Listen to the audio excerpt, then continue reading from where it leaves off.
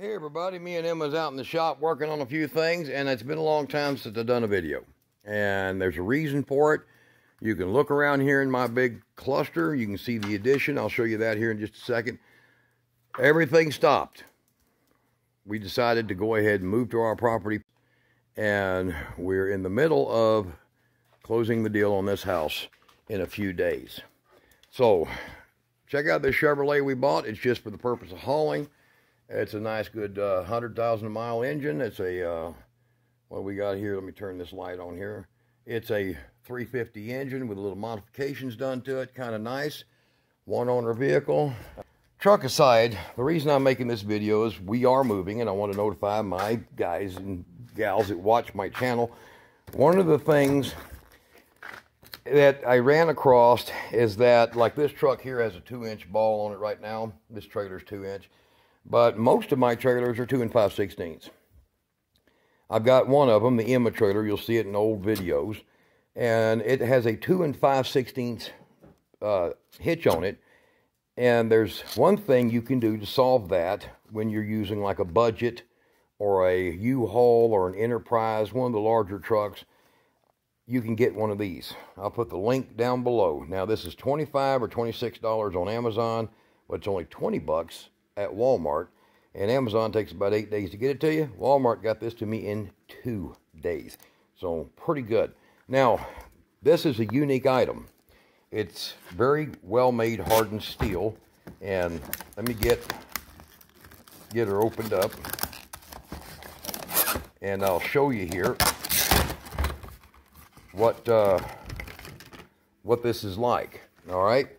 Now, back here in this back of this truck, we're putting in a fifth wheel. I got the plates, been in back here working on it. And here's a little ball that we're going to use on my wife's car to tow another little trailer. And that little trailer will be that Harbor Freight double axle so that she can haul her big riding lawnmower and stuff. Now, look at this. That's a two inch ball. And for a Ryder truck that we will be picking up, and hauling. It's got a magnet, a set of magnets in it. So um, you will lock this on and you will put grease inside and there's a small gap, small gap that will remain on, the, on these. You see that?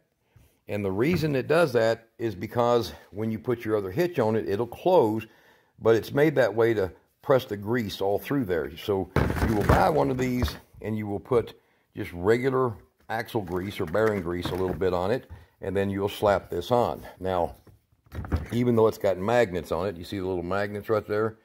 Even though it has them on it, this thing will not stay on there like the first one I got. When you're driving down the highway, especially me when I took mine off-road, that sucker was gone. So you can notice by the taper, you see it's got a slight gap here. Well, that's on purpose so that you can put the grease inside.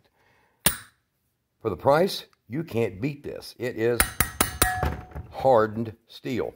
So most U-Haul trucks, Ryder trucks, budget trucks that you would rent for a move, they're only going to have a two-inch ball like this pickup's got now. And in that case, those are going to be in their steel bumpers. They're going to be either welded on or they'll have a, a weld down here on the nut. So you cannot remove that to put a 2 and 5 sixteenths on it. But if you carry one of these in your glove box, you got the whole damn problem solved. Well worth it. How many times are you going somewhere to go pick up a trailer or, or uh, anything, you know, at a rental place, and you did you had a two inch ball. Generally, most everybody has a two inch ball, and you pull up there and you're like, and they're like, nope, can't rent it. Well, salvation in the glove box. All right, guys, there's going to be a lot more videos. Look for that. I'll put that link below the video. There'll be a lot more videos. All of this is getting out of here.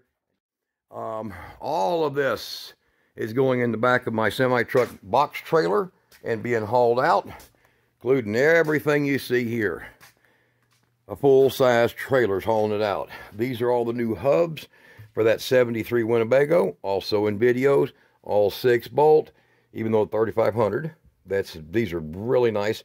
You don't have to worry about your what kind of wheel you use because you're getting 6-bolt and that's a smart move. Giving y'all a little update. Kira Marie's out here. That's what she was doing is changing the oil in the Chevrolet. Um, she says it's her truck now. So, you guys Come back, you'll see more.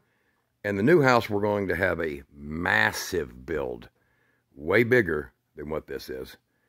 You're going to see everything not only perfected, but laid out every ounce. Get your subscription, watch for more, and you guys are going to see some crazy stuff down there. All right, y'all be good, right?